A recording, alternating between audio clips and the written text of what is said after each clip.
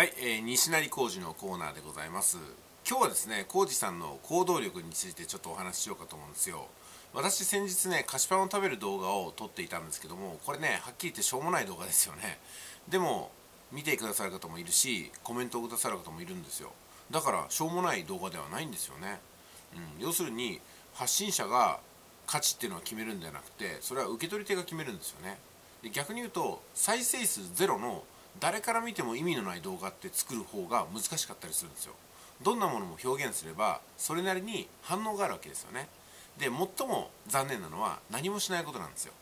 でネットビジネスで稼ごうとか思うとね YouTube をやろうと思うと、まあ、まずね動画をアップロードしないと話にならないんでそれこそひよこがチュチュチュチュっていうふうにねあの歩いてる姿を撮るとかね、えー、それから、まあ、夏の風景を撮るとか雪が降ってるところを撮るとか。何でもそれはいいと思うんですよ。まずは撮影してアップロードするという習慣をつけることが大事なんでみかんを食べる動画いいじゃないですか。緊急事態宣言が出たらやっぱり緊急事態宣言について話すでもいいじゃないですか。その時感じたこととかその時思ったことをどんどん表現していくことによって誰と共感できるのかなとか誰の役に立てるのかなってことを探しに行くのがあ一つのね情報発信の意義だと思うんですよね、まあ、ですんで今日もね感じたことを感じたままに伝えていけばいいんじゃないかなと思います。必ずそこに情報発信者の共感というものがね